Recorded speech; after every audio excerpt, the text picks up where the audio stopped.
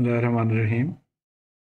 This video will be discussing example 5.1 from AC analysis uh, from Mr. Boylestad's book of electronic devices and circuits. Okay, let me explain a very uh, simple concept that I follow or remember whenever we talk of an amplifier circuit, etc., then there are two things. One we call is the DC bias and the other is called the AC signal. The concept I build is that DC bias is like a stage. You can increase the DC bias, so increase stage will be higher or lower. And the AC signal uh, is the signal which is performing actually. Now, if we have to just test or they do the rehearsal of this, this couple, then we don't need a stage. It can be done on a floor. Similar, when we are doing AC analysis, we don't need a stage. That means we don't need DC bias. And so comes this uh, explanation. Because we are interested only in the AC response of the circuit, all the DC supplies can be replaced by zero potential equivalent or short circuit. So let's see. If this is our circuit, it has the DC supply or the VCC, then what we will do will make it equal to zero or make it grounded. So this, this terminals are now grounded. So that is the first step. The second step we do is, in addition, coupling capacitors C1, C2 and bypass capacitor C3 replaced by short circuit.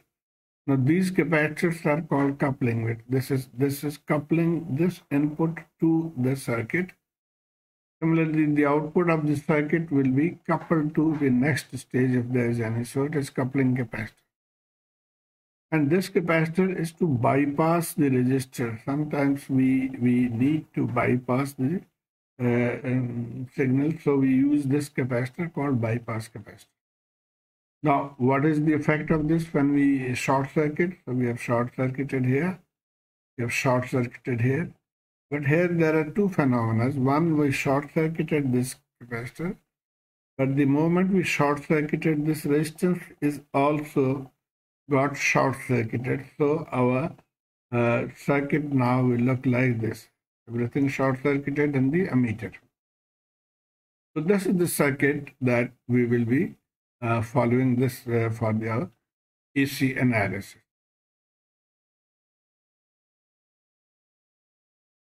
Okay, another point that whenever we uh, have a transistor um, circuit, we can we can use what is known as two uh, two port network concept that is, this is a box, black box. We have transistor in it. We have an input signal whose positive is at the top. Similarly, there's an output signal whose positive is also at the top.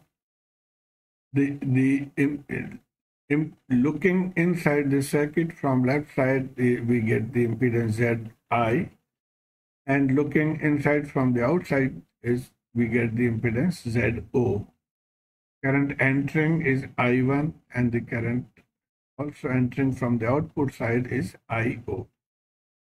So we keep this direction in mind and now uh, to the our circuit we can further draw it like this and this are now parallel.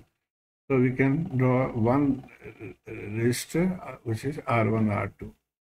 The collector resistor can be drawn like this and the output voltage as shown here output voltage from ground to this point or from this ground to this point is same. So this is the transistor small signal equivalent circuit. We'll see further. Now there is a model called RE transistor model and that we'll discuss for common emitter configuration.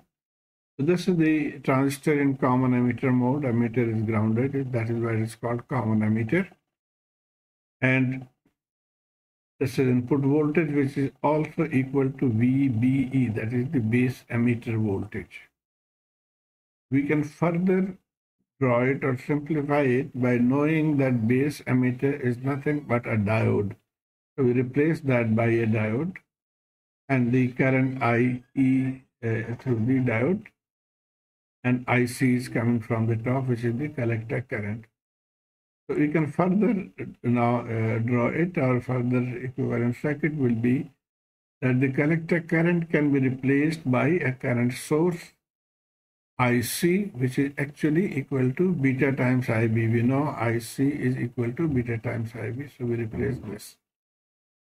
Further simplification is that we replace the diode by its equivalent resistance. The diode is replaced by an equivalent resistance. We call it RE. So this is the RE model. And what is RE? Basically, we have learned in section 1.8 that the diode resistance called RD is 26 millivolt divided by the diode current. Now in this scenario, the diode is connected in the emitter and that is why the resistance is called now RE instead of RD. And the current to diode is, this is the I diode current, so it will be IE. So this equation we can modify and we call it RE is equal to 26 millivolt divided by IE, the emitter current. Now, remember this I capital E means we are only will be using DC value of the emitter current.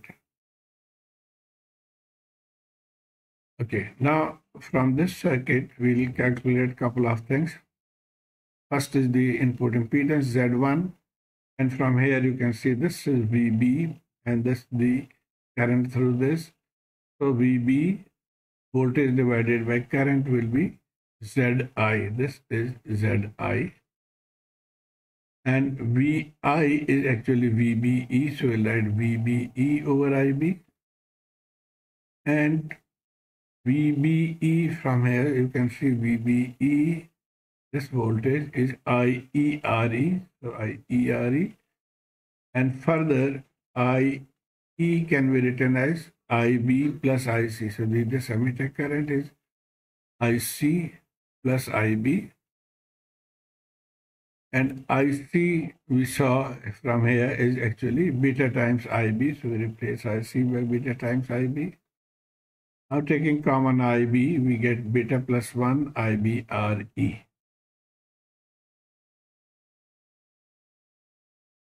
So now we coming back to this equation, we put the value of VBE, which was from here. IB, IB gets cancelled. So Zi will be beta plus 1 Re. And since beta is a larger value, almost 100 or 200, so plus 1 is negligible, so we can write it approximately equal to beta times Re. So we'll use this formula uh, for calculating the input impedance. And the circuit will also modify accordingly. Now you can see that the input impedance is beta Re. So we can replace this or we can divide this into two parts. We call this beta Re, the input impedance.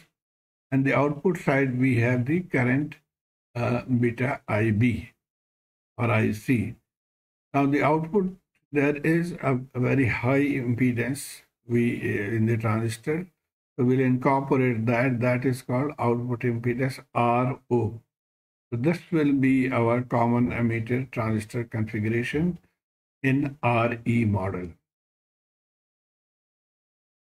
Okay, now we come to the question for the network of figure. Now you can see this is the common emitter mode. Emitter is connected to ground. And we have to calculate these five parameters. We'll deal them uh, one by one. The, the first thing is determine RE. Now re recall that for RE the formula was 26 MV divided by I capital E. That means we have to get the value of IE from the DC circuit. So we are keeping the uh, DC voltage. This was the formula 26 millivolt divided by IE DC value. How do I find IE? We know the formula of IE is equal to beta plus 1 IB. And now how do we find IB? So let's redraw this circuit uh, with, by showing the current. This current is the IB current. So we can use this loop to calculate IB. You can use KVL equation or you can write directly from here. That means VCC is equal to IBRB plus VBE. IBRB plus VBE and from here we can find IB to be VCC minus VE divided by RB. So this way we'll calculate IB. So let's start. First of all, we calculate IB. VCC is 12 from here. VBE is always 0.7 volt and the resistance RB is 470 kilo. So IB is 24.04 microampere. IB found, now we can find IB, IE from here.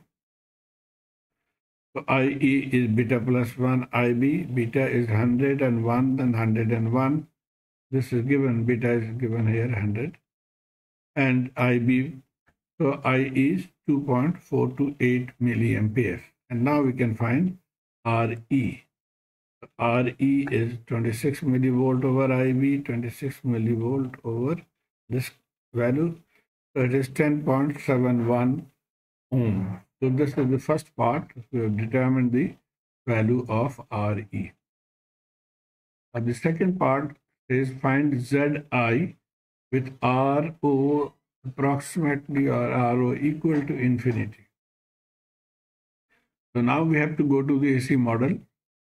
As we have told that we uh, ground the, um, uh, remove the battery and ground it. We have grounded it, remove the diodes, uh, sorry, capacitors.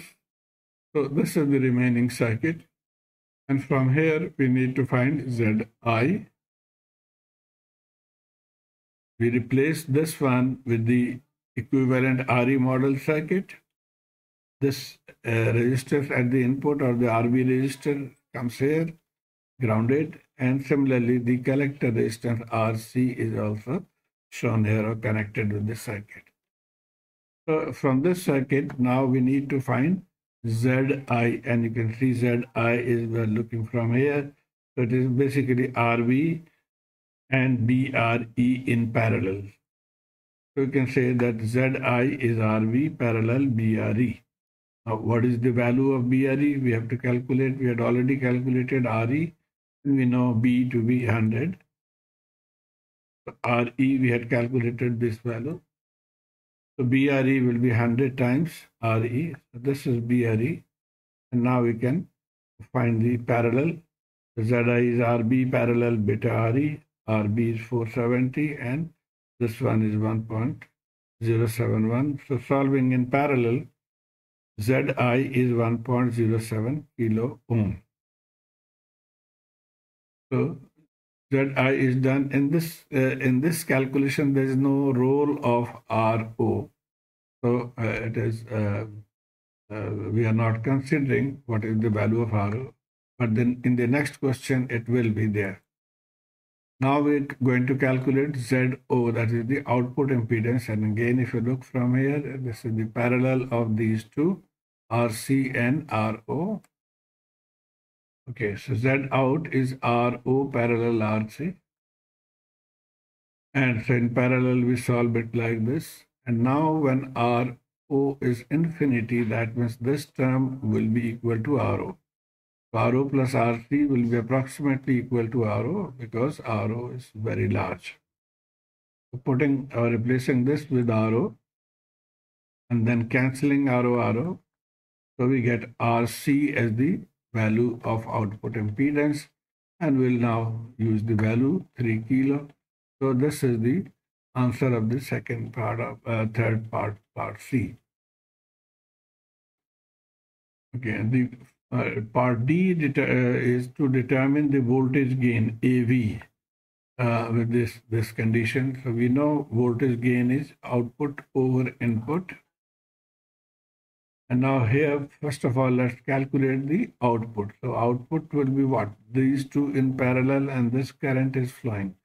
So the convention we had uh, earlier discussed that it will be positive at the top and negative at the bottom. But this current is touching the lower end, that means the lower end will be positive. So uh, to to uh, uh to have this uh, effect of current entering through the lower end, we'll write VO with a negative sign. So VO is negative, current beta IB multiplied by these two in parallel. So RC and RO in parallel. Now IB is VI over beta RE. From here you can see IB, this is the current. And this voltage is uh, R, uh, uh, RB, uh, sorry, VI. IB is VI divided by this resistance. We'll plug in this value in, in place of IB. So it will be here like this. And then beta beta cancels. So it will be VI, RE, RC, RO. Now VI will take to the left side to get the voltage gain. The voltage gain will be negative this parallel divided by RE. Now we can put the value to get the answer. Okay, sorry. Uh, this we have done already that if it is uh, RORC is equal to RC when RO is infinity so we'll use same that RC, RO parallel will be equal to RC. So this is our gain. And now plugging in the value, RC is 3 kilo, RO is 10.71. Therefore, the gain is negative 280.11. So the four parts we have done. Now uh, the, the last part is saying repeat C part and D part including RO to be 50 kilos. So earlier we had done it with RO to be infinity, and now he's giving a, a value that let's consider it with 50 kilo and see its effect. Compare the results. Okay, so we'll just same formula except that for RO now we'll have 50 kilo and solving this ZO will be 2.83. Now remember earlier we had found it to be equal to RC which was 3 kilo.